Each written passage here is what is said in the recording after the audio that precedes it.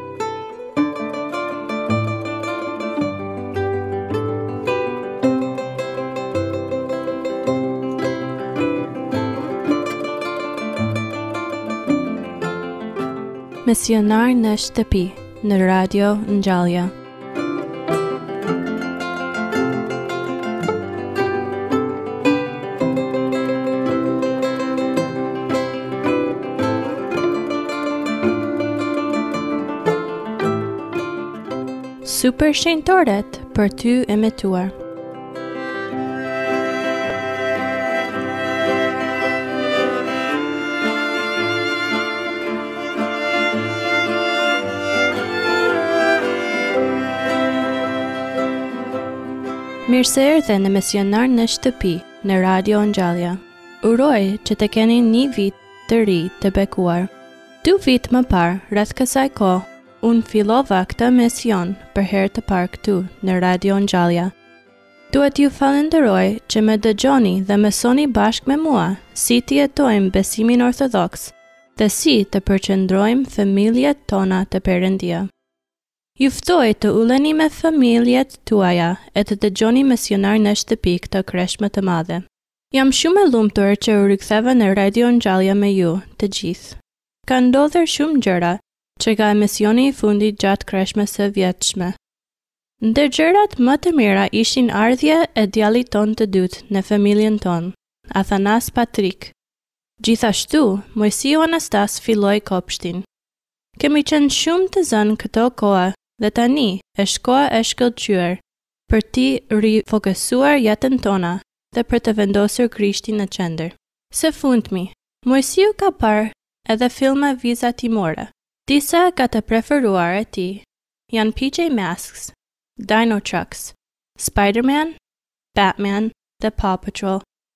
Atij i pëlqen të shikojë dokumentare për oqeanet, peshkaqenët dhe dinosaurët.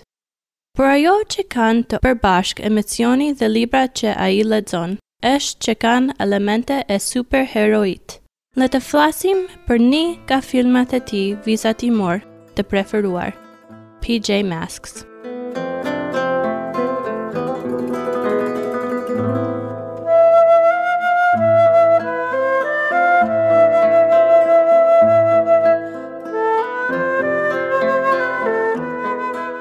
Karakteri i tij i preferuar është Catboy, që njihet edhe si Connor. Në këtë film, tre fëmijët shpëtojnë gjithmonë natën, duke luftuar krimin dhe duke qenë heronj. Ka dhe karakteret negativë në film, si Night Ninja, Romeo dhe Luna Girl. Në çdo episod, tre fëmijët paraqiten me ndonjë problem dhe duhet të gjejnë një mënyrë për ta zgjidhur. Në fund, ata janë heronjtë e natës. Kur Moisiu do të aktrojë, pothuajse gjithmonë i afrohet rolit të superheroit, shumicën e kohës Catboy. Ai kënaqet shumë duke luajtur këto lojra dhe duke parë këta filma vizatimorë. Por, ndërsa fillojmë një tjetër periudhë kreshmimi dhe përgatitjeje për Pashkë, dua që ta fokusoj sërish drejt Krishtit. Gjatë Kreshmës së Madhe më pëlqen që të gjithë ne të shikojmë më pak filma dhe emisione televizive dhe të lexojmë më shumë për shenjtorët. Një ide që unë e zbatoja me Moisiu ishte t'i lexoja çdo javë dy shenjtorë që janë super dhe që jetuan një jetë nga e cila mund të mësojmë nga gabimet dhe nga triumfet e tyre. Tani dua t'ju sqaroj që nuk po them se shenjtorët janë superheronj, që janë shumë të ndryshme dhe nuk janë njerëz. Përkundrazi, ata janë modele si të jetojmë një jetë me Krishti. Heronj të besimit dhe super në dashurinë e tyre për Krishti. Përveçse të dëgjojmë këta superheronj të rremë në filma dhe kartona, dua që djemtë e mi të dëgjojnë për super shenjtorët që ne kemi. që janë të vërtetë në besimin tonë ortodoks. Përveç historive që ndaj me ju, ju ftoj që bashkë me familjen tuaj të dëgjoni dhe mësoni për super shenjtorët që mund të imitojnë. Çdo shenjtor do të ketë një veçori të caktuar dhe e cila mund të mësojmë dhe të përdorim në jetën tonë.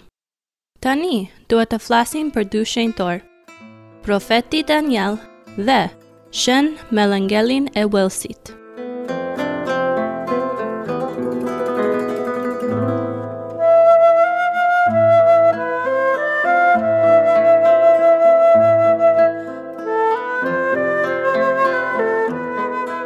Le të fillojmë me Shën Melangelin e Uellsit. për të cilin kam mësuar kohët e fundit. Melangel, e njohur gjithashtu si Monacella, ishte një princesë irlandeze që lindi në fundin e shekullit të gjashtë. Ajo u rrit për të qenë një grua e bukur, dhe prindërit e saj donin ta martonin me një djalë nga familja mbretërore. Ajo e refuzoi këtë martesë, duke thënë se ajo donte të bënte një jetë me lutje. Babai i saj ishte i inatosur me këtë vendim. Ai këmbënguli që ajo të binte dakord me këtë martesë. Melangel mendoi që do të ishte e pamundur të luftonte kundër të atit, kështu që iku larg familjes së saj. Më në fund, ajo gjeti rrugën e saj në një shkretëtirë të bukur në luginën Tanant, në Uellsin e Veriut. Aty, Pati mundësinë të jetojë ni jetë me lutje, duke jetuar në ni shpellë dhe duke fjetur mbi ni pllakë guri. Shoqëruesit e saj të vetëm ishin kafshë të vogla dhe krijesa. Pas pesëmbëdhjetë vitesh ni burrë po gjuante në shkretëtirë. Ai ishte Broçfael, princi i Pojës. Qentë e tij Gjuajtës trembën ni lepër dhe më pas e ndoqën atë më tej për në pyll. Ndërsa Broçfael ndiqte qentë e tij, ai pa ni grua me lepurin që shtrihej i qetë në fustanin e saj. Në vend që të ndiqnin lepurin, qentë u strukën nga mahnitja e gruas. Edhe princi ishte i magjepsur nga gruaja. Melangel i tregoi atij historinë e saj dhe ai u çudit nga forca dhe karakteri i saj. Ai iu lut që të shkonte me të dhe të bëhej gruaja e tija. Melangel nuk e pranoi këtë ofertë, ajo e refuzoi me mirësi. Kështu, princi i dha asaj një pjesë të madh tokë në shkretëtirë. Princi i kërkoi vetëm ni gjë në këmbim. Ai donte që ajo të hapte ni manastir për gratë e tjerë që kërkonin paqe dhe qetësi. Ajo pranoi me kusht që toka të ishte strehë për njerëzit dhe gjithashtu për kafshët. Ajo nuk donte të kishte gjueti në atë tokë. Broçfael pranoi Kjo copë tokë më vonë u bë e njohur si Flamuri Melangel. Gjatë jetës së Melangel shumë kafshë dhe krijesa u shpëtuan nga gjuetia. Tradita vazhdoi për shekuj dhe tani madje kur një lepër ndiqet nga qen ose nga një gjuetar, mjafton të thuash Zoti dhe Melangel qofshin me ju. Dhe ata do të ikin. Lepujt në Uells quhen me Melangel, që do të thotë qengjat e vegjël të Melangel. Lepuri është ni kafshë e veçantë për Uellsin sepse simbolizon begati fat të mirë dhe mirëqenie. Është ni thënie që tregon se ashtu si lepuri mund të vrapojë shpejt për ni kodër, Për t'u larguar nga armiqt, po ashtu të krishterët mund të largohen së keqes dhe t'i afrohen Krishtit. Shën Melangel e shenjtore ruajtëse e lepujve, krijesave të vogla dhe mjedisit natyror. Atë e kremtojmë në datën 17 maj.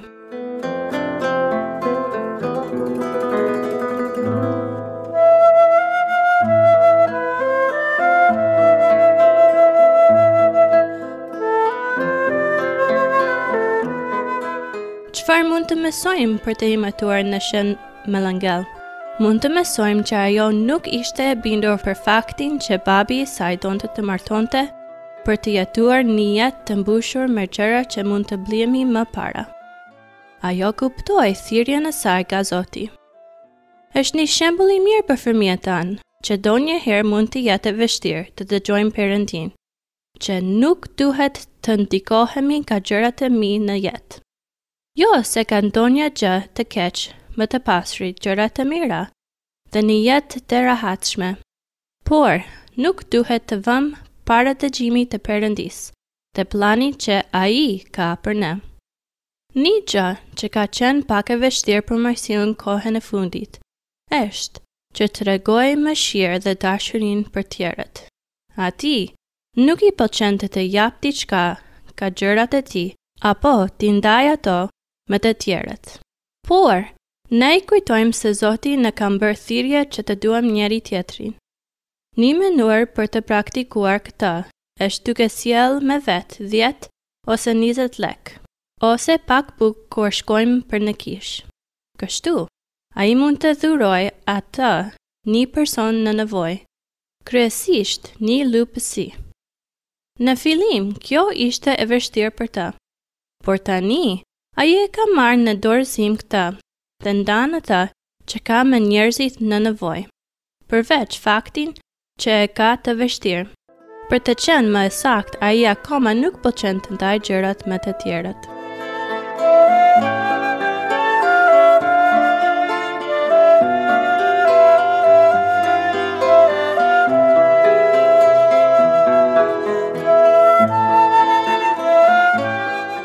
Tani, le të dëgjojmë historinë e profetit Danieli në strofkën e luanëve.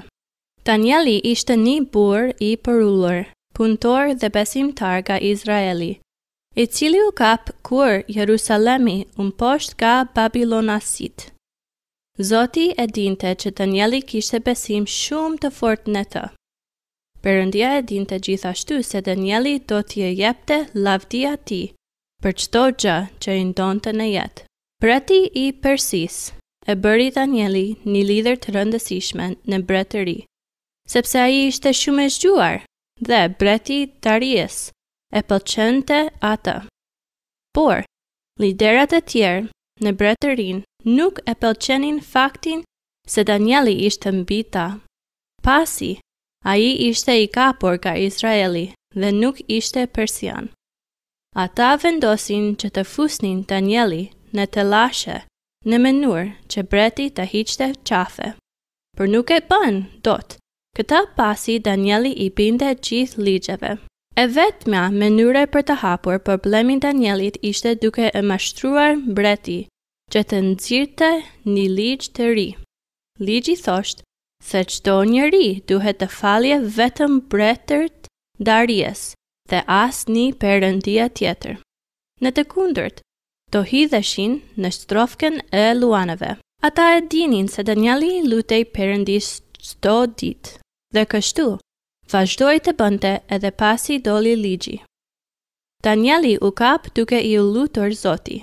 Kështu, ata e hodhën në nji vend të luanëve të uritur. Bibla thotë se Perëndia dërgoi ni ëngjëll që të mbronte Danielin, nga luanët. Dhe, ditën tjetër, Danieli doli nga strofka e luanëve, pa as ni të gërvishtur. Mbreti Darius ishte i lumtur që Zoti i mbrojti Danieli dhe ia tregoi historinë të gjithë njerëzve në perandorinë e tij. Ni mësim shumë e mirë që marrim nga historia e Danielit është që nuk duhet të kemi frikë t'i lutemi Zotit dhe t'i tregojmë të tjerë për të. Ni gjë që po përpiqemi të mësojmë Moisiu është lutja në shkollë përpara ngrënies.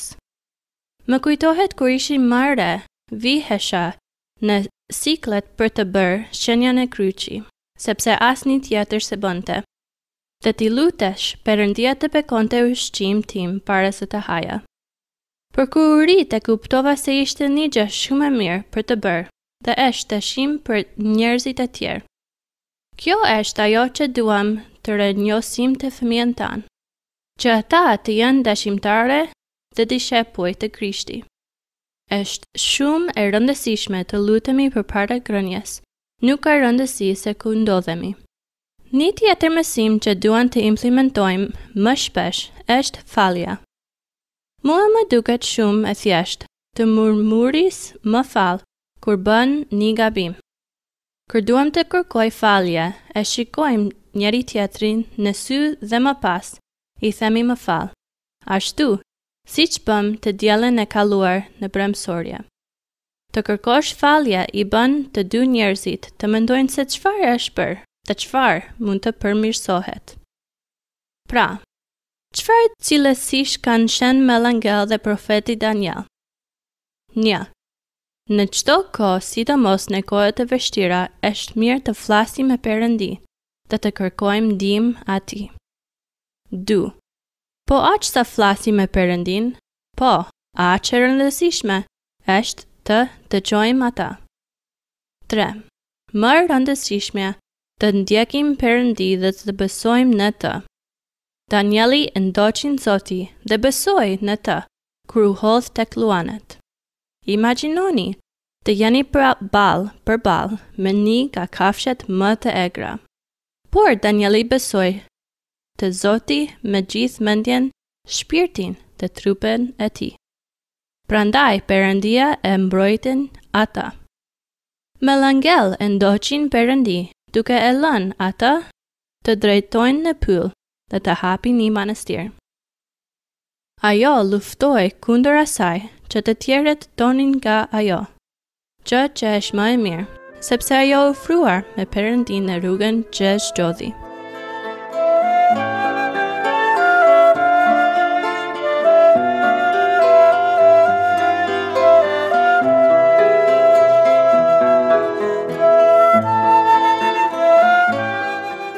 Dua t'ju inkurajoj si familje që të mbani mend këto dy vargje biblike. Shkruani, i vendosni në këndin e lutjes dhe i thoni çdo ditë me fëmijën tuaj. Në këtë mënyrë, kur ata të përballen me çdo lloj vështirësie apo suksesi, fëmijët tanë do të kthehen te Perëndia. Psalmi dyzet e gjashtë, dhjetë Ndaluni dhe pranoni që jam Perëndi, do të ngrihem lart Midis kombeve do të ngrihem lart mbi tokë. Psalmi gjashtëdhjetë e gjashtë, nëntëmbëdhjetë Por Perëndia më dëgjoi dhe i kushtoi kujdes zërit të lutjes sime.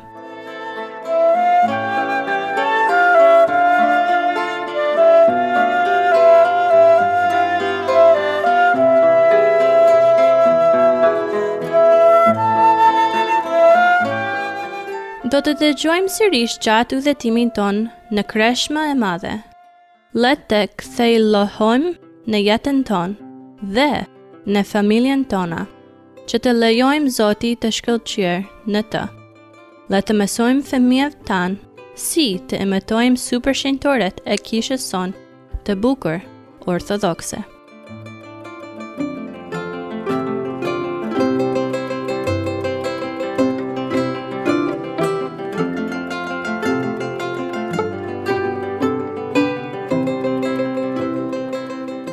Dëgjuat, misionar në shtëpi, në Radio Ngjallja.